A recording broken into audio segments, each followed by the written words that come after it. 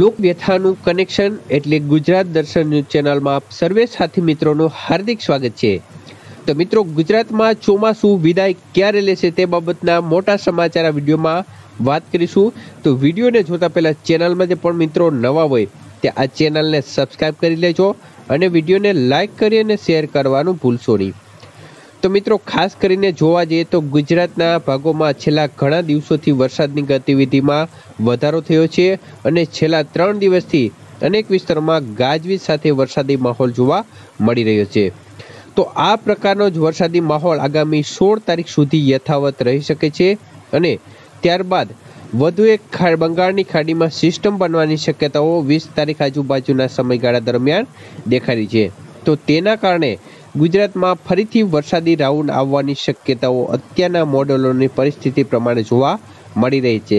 તો તે રાઉન્ડ બાવીસથી ચોવીસ તારીખ સુધીના સમયગાળા સુધી જોવા મળી શકે છે અને ત્યારબાદ વધુ એક સિસ્ટમનું નિર્માણ પણ તારીખ છવ્વીસ આજુબાજુ બંગાળની ખાડીમાં થાય તેવી શક્યતાઓ દેખાઈ રહી છે. તો તેના પરિણામે પણ વરસાદની ગતિવિધિ આ મહિનાના અંત સુધી જોવા મળે તેવી એકંદરે શક્યતાઓ રહેલી છે અને ઓક્ટોબરના પ્રથમ સપ્તાહ દરમિયાન પણ વરસાદી માહોલ ગુજરાતના અનેક ભાગોમાં જોવા મળે તેવી શક્યતાઓ હાલના મોડેલોની સ્થિતિ પ્રમાણે જોવા મળી રહી છે.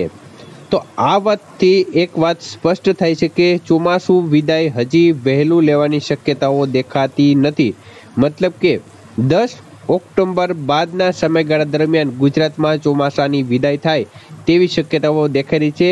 ત્યાં સુધી વધઘટ સાથે વરસાદી માહોલ વરસાદી સિસ્ટમનો લાભ ગુજરાતને મળતો રહેશે. તો સૌથી મોટા સમાચાર, ગુજરાતમાં ચોમાસાની વિદાયને વિલંબ થવાની પૂરેપૂરી શક્યતાઓ રહેલી છે અને ચોમાસું પોતાના નિર્ધારિત સમય કરતાં ગુજરાતમાં મોડું વિદાય લે, તેવી અત્યારના મોડેલોની સ્થિતિ પ્રમાણે શક્યતાઓ દેખાઈ રહી છે.